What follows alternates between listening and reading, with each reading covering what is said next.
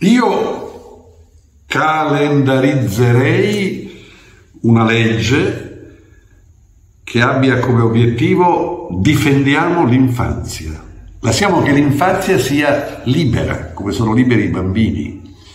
Non diamo orientamenti all'infanzia, nel senso che occorre educare i ragazzi. E adesso vorrei infatti parlare di sesso. Il sesso, quello che noi abbiamo conosciuto e praticato, la mia generazione l'ha conosciuto sempre in modo trasversivo, nel senso che abbiamo conquistato lentamente la nostra libertà sessuale contro i nostri genitori e contro i nostri professori che ovviamente tendevano a indicarci una morale unica, cristiana possiamo dire. E quindi Ogni libertà sessuale passa attraverso la mancanza di orientamenti obbligatori. Ora, il politicamente corretto, con quella che si chiama legge Zan, vorrebbe educare i bambini alla indifferenza sessuale, la qualcosa è paragonabile alla pedofilia di Stato. E lo dico non perché devo difendere quelli che oggi vedono la Commissione Giustizia come luogo dove qualcuno impedisce che arrivi la legge Zan. Zan è un deputato, un giovane, simpatico deputato omosessuale che ha tutti i diritti di essere omosessuale, come io ho tutti i diritti di essere eterosessuale, ma insegnare a essere indifferenti al sesso e quindi che essere eterosessuali e essere omosessuali è la stessa cosa, è una violenza. Uno deciderà, una volta che ha sentito cos'è dentro di sé, cosa fare della sua vita, diventando serenamente omosessuale o essendo serenamente omosessuale. Non pensando che è indifferente essere eterosessuale e omosessuale. Questo è il rischio della legge Zan.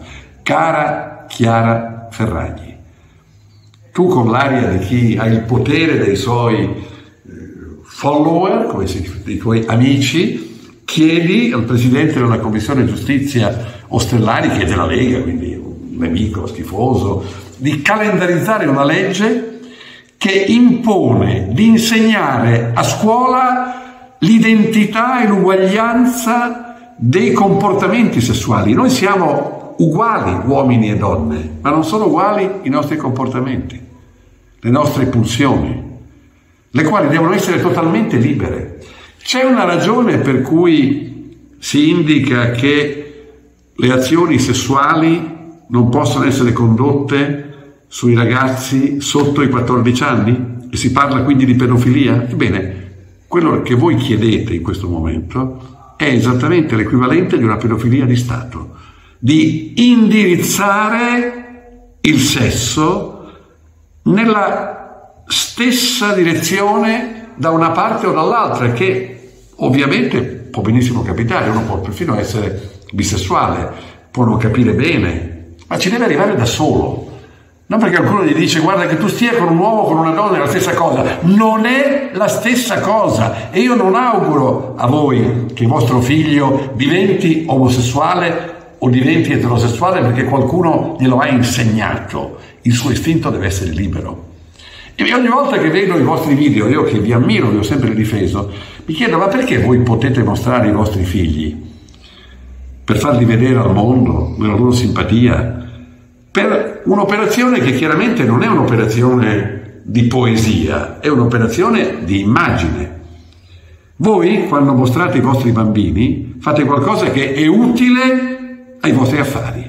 E questo già di per sé non è una cosa particolarmente alta, ma ammesso che sia lecito e che voi possiate farlo, non potete pretendere che a scuola qualcuno, prima che io abbia 14 anni, mi dica cosa deve essere del mio sesso. Non voglio saperne niente. Voglio essere libero di sentirlo crescere dentro di me. Questa è la bellezza del sesso. Non che qualcuno mi dica, ma no, ma tu stai con una ragazza, stai con un ragazzo, è uguale. Non è uguale. Non è uguale perché se tu stabilisci che una educazione, un'attività formativa ti dica che essere eterosessuali e omosessuali è la stessa cosa, tu non soltanto hai superato dei valori morali, quelli cristiani, facciamo finta che non ci siano più, ma hai fatto credere a un ragazzo che quello che è dentro di lui, quello che è il suo istinto, in realtà è assolutamente superato dalle regole, quelle che voi volete, le regole vostre, le regole per cui è giusto che il politicamente corretto ti faccia credere che sentire desiderio per un ragazzo o per una ragazza è la stessa cosa. Questo non funziona. Dopo 14 anni insegnate quello che volete. Quando uno si è già formato delle sue convinzioni istintive, ma governare gli istinti dicendo è tutto uguale è una forma di perdizione, è una forma di perdita della propria vera identità sessuale. E siccome voi mandate i vostri messaggi per chiedere al Presidente della Commissione Giustizia del Senato di calendarizzare la legge Zan come se questa fosse il Vangelo. E non è il Vangelo, non è il Vangelo perché il Vangelo è la storia di un uomo che è morto in croce per difendere i valori della famiglia, i vostri valori. Zan è un bravissimo giovane che difende la sua identità sessuale per paura che qualcuno gli impedisca di esserlo ed è giusto che ci sia un'azione di legge per impedire che qualcuno voglia ostacolare la tua omosessualità, ma imporre l'omosessualità, imporla come se fosse identica ai valori cristiani, è una violenza molto più grave. E vi risponde, perché voi sappiate che io non vi parlo né per antipatia né per difendere dei valori ormai superati, i valori del cristianesimo, in fondo cos'è stato Cristo rispetto a Fedez, che cos'è Cristo?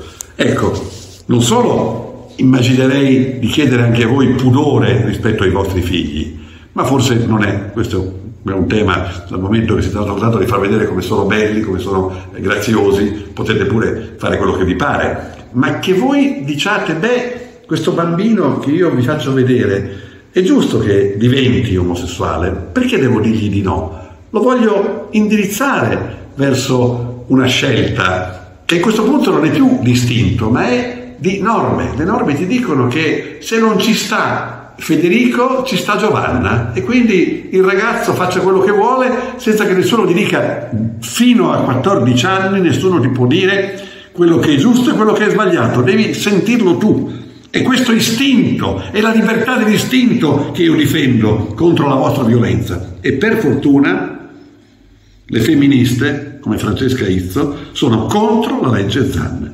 No alla identità di genere. Il sesso non si cancella.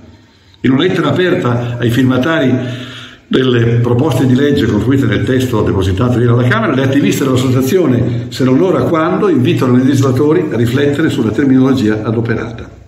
Francesca Izzo, storica del pensiero moderno e contemporaneo, tra le fondatrici del movimento femminista Se non ora quando, perché criticate il decreto di legge Zan contro l'omofobia? Gli chiedono, le chiedono chiedono al movimento femminista eh, perché abbiamo scritto una lettera di firmatari delle varie proposte di legge chiedendo loro una riflessione sulla terminologia utilizzata che suscita ambiguità. Qual è il termine sotto accusa? È il gender, ovvero l'espressione identità di genere, che è una questione molto controversa.